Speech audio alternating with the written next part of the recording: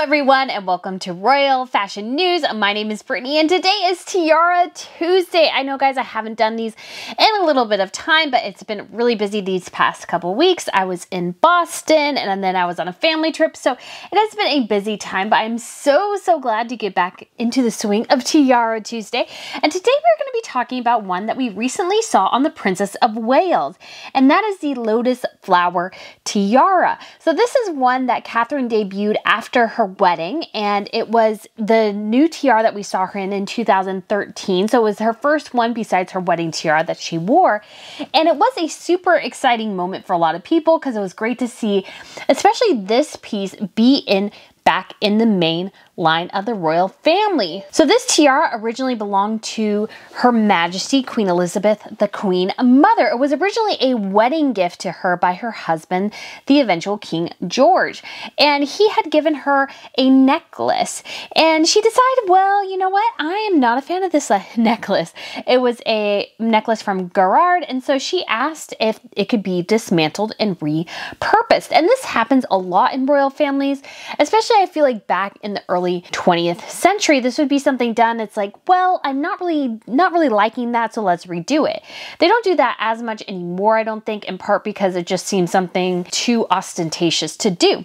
So she reformatted or had Garrard reformat it into what we now call the lotus flower tiara because it has this lotus flower or papyrus leaf motif.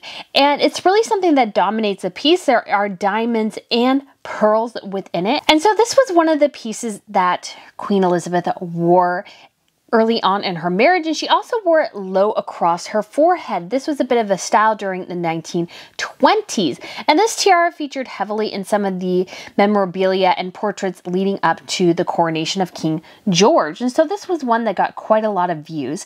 And, and in 1959, before her marriage to Anthony Armstrong Jones, Princess Margaret was gifted this tiara to wear, and she wore it quite a And alongside the Poltimore, it was one of her most frequent tiaras that we saw. And then we eventually saw it on her daughter in law. So in 1993, Viscount Linley married Serena. And although they have now since divorced, she wore this tiara on her wedding day. And then once Margaret died in 2002, we did not see this tiara at all. And there was a question of where is it? Is it still in the main line? Is it outside the main line? Does Serena have it? Does Margaret's daughter Sarah have it? Where where is this particular tiara? Well, in fact, we have found out that it went back to the main line, which does make sense because obviously the Queen Mother had died earlier and this tiara event originally belonged to her. And although it was gifted for Margaret to use, I have a feeling it was probably still technically part of the main line and still part of technically all the the jewelry within the family because obviously eventually Princess Margaret's tiara, the Poltimore tiara, was actually sold to cover her to cover death taxes. And the reason for that is that those taxes are rather high, and so oftentimes families do have to sell historic pieces. And the Poltimore was one that specifically Margaret purchased. And so that it wasn't part of the original sale made people speculate that hopefully fingers crossed it was part of the main line. And then wouldn't you know it, in 2013, during her first diplomatic reception, we saw the then Duchess of Cambridge wearing this tiara yet again. And it was a super exciting moment. And then she wore it for her first big state dinner in honor of the president of China. Now, I will be totally honest with you guys. This is not my favorite tiara on Catherine. I don't think it really looks all that great on her. I think she actually looks utterly fabulous in the Queen Mary's Lover's Knot tiara. That tiara just really, really fits her. I just don't like this one as much, but there was a question. So after a while, after this 2015 dinner, Catherine then started wearing the Queen Mary's Lover's Knot. And everybody was like, oh, the Queen Mary's Lover's Knot. She's wearing Diana's tiara, even though it's not Diana's. It's very closely associated with Diana. So she was wearing this tiara. And I wondered as the Queen passed away, would she get access to more tiaras? Would she change up her tiara game? And while this is one definitely she wore, has worn before, she did decide to change up her tiara game and debut debuted this at the recent diplomatic reception and she was wearing a Jenny Packham dress.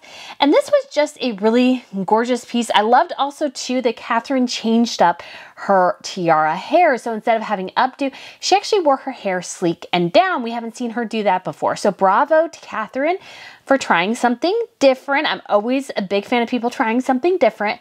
But I will say, even though I think Catherine looks stunning, not saying that, I'm still just not a fan of this tiara on Catherine. But again, it's a gorgeous piece, very reminiscent of the Art Deco period. I love the fact that Catherine now gets to rewear this piece. Maybe this will be one of the first ones we see on Princess Charlotte, although I'm still, fingers crossed, for the Strathmore Rose tiara. I'm still hoping, hoping, hoping we see that on one of the royal ladies. So guys, that is all I have for you today on Tiara Tuesday. Let me know what you think. Are you a fan of this tiara on Catherine or do you prefer the Queen Mary's Lover's Knot like I do.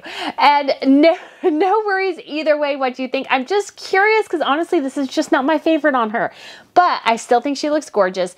And I just absolutely love that we get to see this tiara again. And I am always a fan of if you are in a minor line of a royal family and you're looking at some big inheritance taxes, please, please, please give it back to the main line of the family. That way, these precious pieces do not get sold. So guys, hopefully we will see more on Catherine. I'm still hoping that maybe she debuts the turquoise tiara that Princess Margaret used to wear. I think that would look fabulous on Catherine, the Persian turquoise. And I'm really, really hoping she does because I bet you that one is in the main line. I can't wait for that day. Hopefully it happens. Well, guys, again, thank you so much for watching. Please subscribe if you haven't already. These happen every Tuesday, except for when I am crazy busy like I was the last couple weeks. And I can't wait to be with you guys again very, very soon. And I plan on getting all caught up with some of the fashion videos that I missed. So again, guys, I appreciate you watching and look forward to seeing you again soon. Bye.